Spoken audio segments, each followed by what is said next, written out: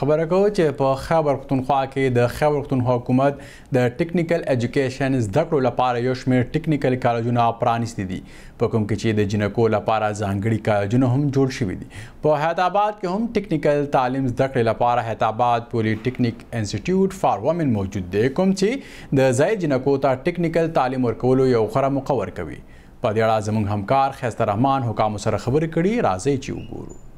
په خیبر پښتونخوا کې تقریباً هر کال په سوونو جینکې د مټریک امتحان ورکولو نه پس په ایف اې او ایف ایس سي کې داخله اخلي. هغې نه پس بي اې او بي ایس سي طرف ته به تله، بیا به ایم اې او ایم ایس سي کیده. ولې اوس د بي ایس پروګرام نه پس نور هم فقدان پیدا شوی دی او په کالجونو کې جینکو ته داخلې نه ملاویږي. اکثر اوقات جینکې د خپل تعلیم،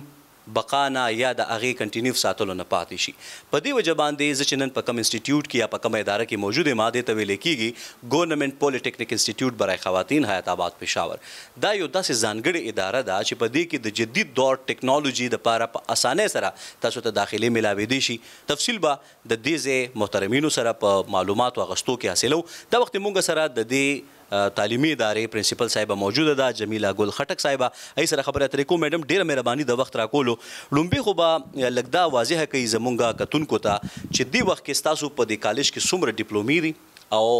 کمې کمې دي او زه ویم چې دا مختصر لږ بیان دا ټکنیکل اداره ده دلته درې کاله ډیپلومه کورسز کیږي دې ډیپلومه کورسز کې الکترونیکس دی آرکیټیکچر دی.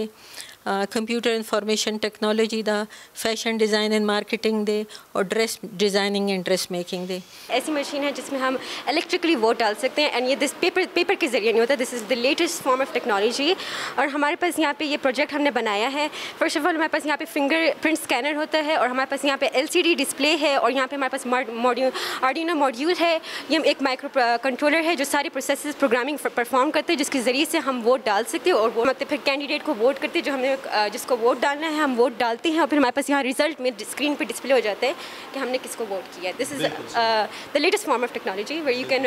vote electrically بلکل صحیح یعنی مطلب دا دی چې لومبه به تاسو خپل کټه ګوتوله غوي اغه نه به تاسو معلومات لاړ شي چې تاسو څوک یې شناختی کارت نمبر هم سره کوم علاقه هم ده ان پس ورته د ټولو پاټو نه خې راشي په نخ باندې بکلیک کوي او تاسو الکترونیک ووټ چې کوم دی هغه به پول شي بهر حال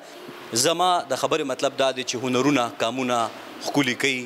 او د اغي د ستورو په شانتي بیا پړکیږي نو په دې وجه باندې داسې قسم له تعلیمي ادارو کې کنن د داخلو شرح کمه ده نو دا زمونږ ناپوهي ده بايد چې مونږ د شعور د بيدارۍ لپاره کار وکړو او د خيبر پښتونخوا د حکومت د طرف نه يو بهترين عمل ترسره کيږي د کيمره مين رياض شاهد سره خيسترحمان مشرق ټي وي حيات اباد پيښور.